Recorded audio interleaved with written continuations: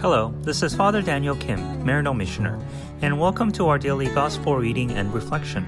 Today's Gospel reading is according to St. Mark, chapter 2, verses 1 to 12. When Jesus returned to Capernaum after some days, it became known that he was at home.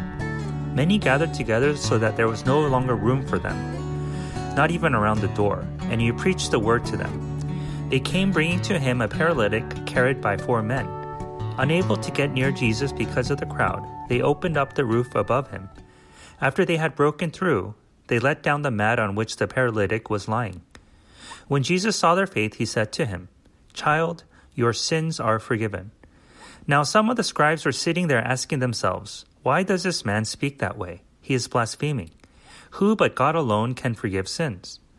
Jesus immediately knew in his mind what they were thinking to themselves, so he said, why are you thinking such things in your hearts? Which is easier to say to the paralytic, Your sins are forgiven, or to say, Rise, pick up your mat, and walk? But that you may know that the Son of Man has authority to forgive sins on earth. He said to the paralytic, I say to you, Rise, pick up your mat, and go home. He rose, picked up his mat at once, and went away in the sight of everyone. They were all astounded and glorified God, saying, we have never seen anything like this. The Gospel of the Lord. Praise to you, O Lord Jesus Christ.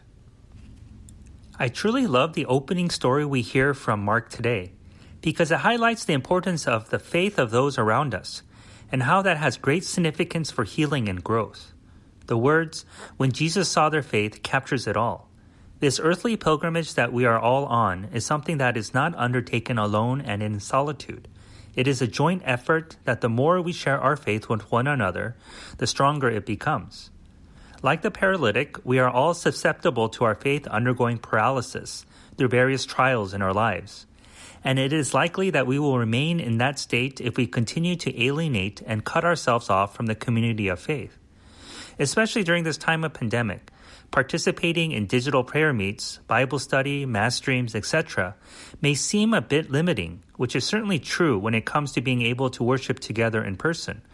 But one would be surprised how the Holy Spirit works despite whatever predicament we find ourselves in.